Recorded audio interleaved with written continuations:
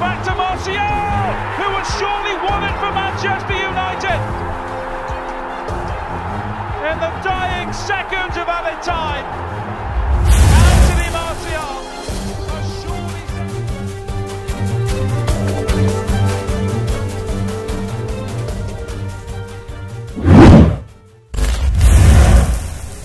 Legenda klub Mark Hughes menuturkan, Harry Kane atau Erling Haaland solusi lini depan Manchester United. Meski jadi tim terproduktif sejauh musim bergulir, Man United kerap gagal cetak gol kontra tim Big Six yang keempat beruntun. Legenda Manchester United, Mark Hughes, menuturkan bahwa bomber kaliber Harry Kane atau Erling Haaland lah solusi setan merah untuk mengisi pos penyerang tengah. Edinson Cavani bukan opsi jangka panjang yang layak.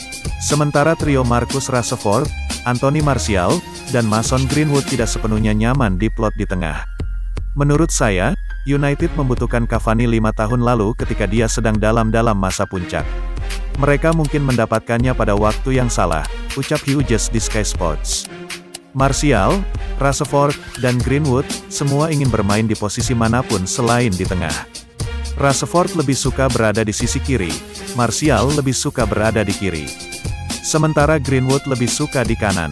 Mereka semua telah dicoba di tengah, tapi Anda merasa tidak ada satupun dari mereka ingin berada di sana. Jadi, mereka perlu mendapatkan striker berkualitas untuk main di tengah depan dan memberi mereka fokus. Ken dan Haaland, ya, mereka adalah tipe striker yang United butuhkan. Itu tergantung bagaimana akses atau seberapa besar kemampuan United pada bursa transfer untuk mendapatkan para pemain itu. Siapa tahu, karena banyak klub lain yang juga menginginkan mereka, ujar Mark Hughes.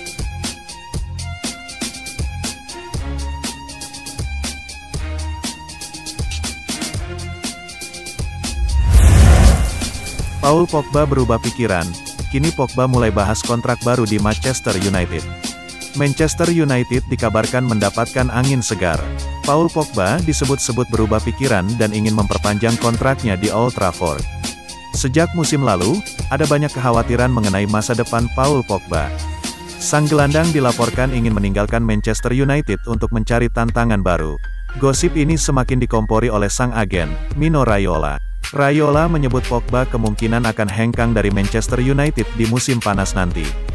Namun jurnalis asal Inggris, Andy Mitten, memiliki kabar baru terkait masa depan Pogba. Sang gelandang dilaporkan siap bertahan di Old Trafford. Dalam wawancaranya kepada United No baru-baru ini, Mitten bicara mengenai spekulasi masa depan Pogba. Ia mengaku mendapatkan informasi dari orang dalam jika Pogba siap bertahan di United. Saya rasa Paul Pogba akan bertahan di musim panas, ujar Mitten. Mitten juga menyebut Pogba juga sudah berubah pikiran mengenai masa depannya. Ia mengatakan sang gelandang sangat terbuka mendiskusikan kontrak barunya dalam waktu dekat ini. Saya mendapatkan informasi bahwa Pogba terbuka untuk mendiskusikan kontrak baru di Manchester United, ujarnya. Pogba sudah beberapa pekan terakhir tidak membela Manchester United. Gelandang asal Prancis itu mengalami cedera di bagian paha sehingga harus menepi sejenak dari skuad setan merah.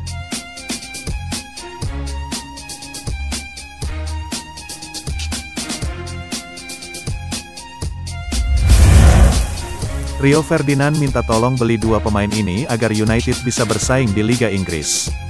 Rio Ferdinand punya permintaan khusus kepada mantan klubnya Manchester United setelah menelan hasil imbang tanpa gol di kandang Chelsea Stamford Bridge. Manchester United mengejar ketinggalan dari semua orang musim lalu. Mereka finish 30 poin di belakang Liverpool musim lalu.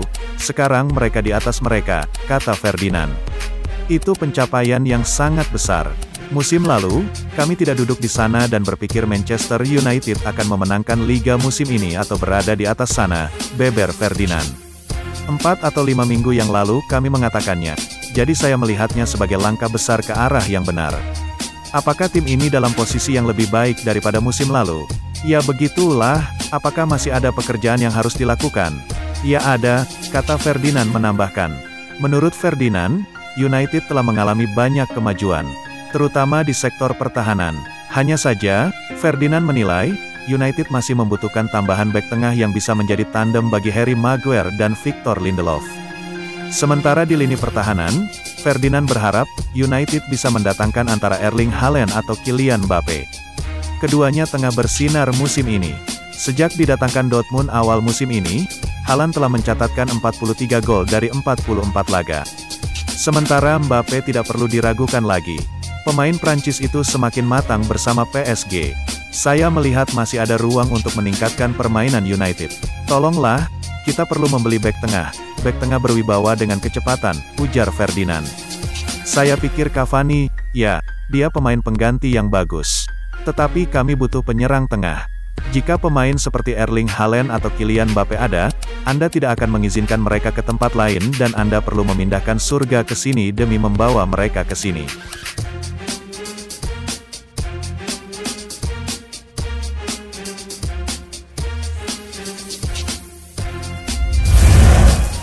Ketika Solskjaer telah abaikan filosofi Sir Alex Ferguson di Manchester United.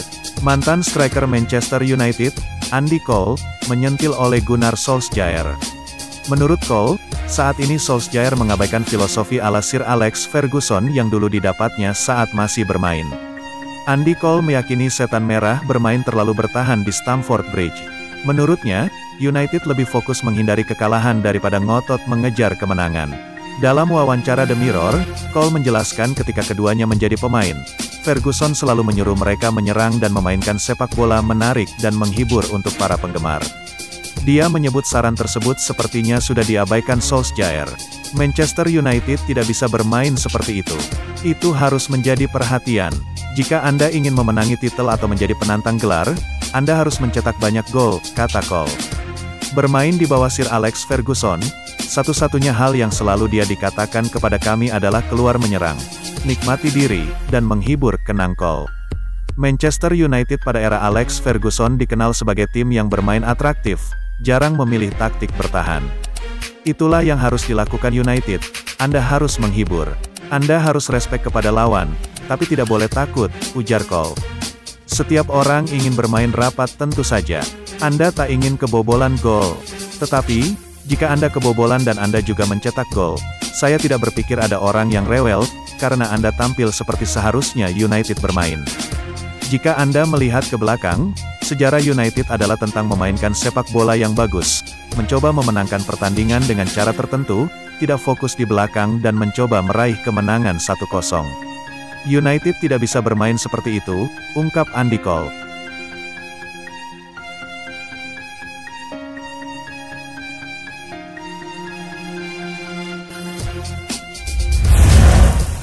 Crystal Palace versus Manchester United, Cavani berpotensi diturunkan sedangkan tiga pemain lainnya masih cedera. Sebuah kabar gembira datang bagi Manchester United. Penyerang mereka, Edinson Cavani dikonfirmasi berpotensi besar comeback saat laga kontra Crystal Palace. Beberapa pekan terakhir, sosok Cavani mulai rutin menjadi starter di skuad Manchester United. Ia mulai menggeser posisi Anthony Martial sebagai penyerang utama Manchester United. Namun apesnya, Cavani beberapa waktu yang lalu mengalami cedera otot. Sehingga ia sudah beberapa pertandingan absen membela Manchester United. Solskjaer sendiri baru-baru ini memberikan informasi terbaru mengenai cedera Cavani. Dalam konferensi persnya baru-baru ini, ia mengonfirmasi bahwa Cavani sudah berlatih penuh bersama skuad United. Ia berharap cedera sang striker tidak kumat sehingga ia bisa bermain di tengah pekan nanti. Cavani sudah berlatih pagi ini dan semoga saja tidak ada reaksi dari latihan ini. Semoga ia bisa pergi bersama kami ke markas Palace. Pada kesempatan ini, Solskjaer juga mengonfirmasi bahwa tiga pemainnya, Juan Mata, Phil Jones dan Paul Pogba bakal absen di laga ini. Phil sendiri saat ini sedang bekerja keras. Cederanya sempat kambuh beberapa kali sehingga kami harus bersabar dengan cedera seperti ini, sementara Paul masih belum siap untuk bermain. Ia sudah baikan tapi ia belum berlatih dengan tim, sehingga ia tidak bisa ikut kami ke London, ujarnya. Manchester United punya jadwal yang padat di pekan ini. Setelah bertandang ke Crystal Palace, mereka akan bertandang ke Etihad Stadium untuk menghadapi Manchester City di akhir pekan nanti.